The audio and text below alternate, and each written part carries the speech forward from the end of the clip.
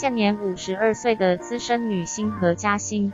当年主持老字号选秀节目五等奖节目而爆红，成为家喻户晓的明星。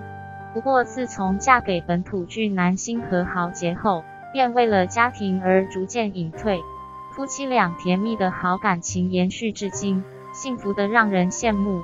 不料十年来何嘉欣的健康情形频频出问题，甚至一度差点没命，让他苦叹。遗言都交代好了，消息一出也让人为之震惊。根据三立新闻网报道，自从嫁给何豪杰之后，何嘉欣便暂时放下明星身份，在家中专心照顾孩子。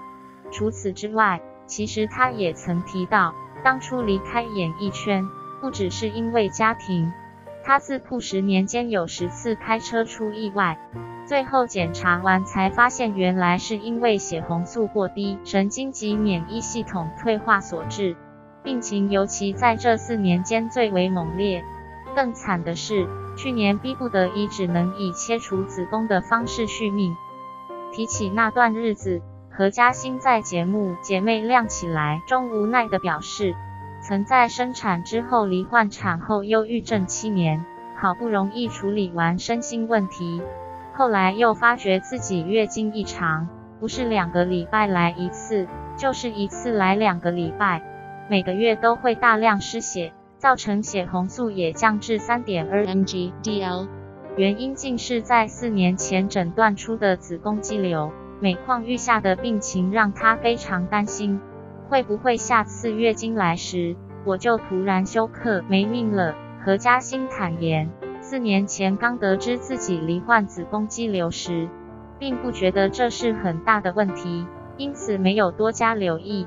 岂料如今却演变成攸关性命的危机，也让她紧张到开始交代遗言，告诉丈夫和豪杰：“我走了以后，你要好好照顾孩子。”随后提供自己的银行存折密码，以备不时之需。而在去年二月，她曾被送进急诊室，当时状况危急，濒临休克，输血一千 CC 才得以保命。最终在院方的协助下拿掉子宫，才终于恢复健康。虽然失去了子宫，但幸亏在手术过后，一切病痛也到此为止。也让他终于松了一口气。以前贫血总是很容易累，就连做菜时都会累到需要上床休息，跟僵尸没两样。现在终于没事了。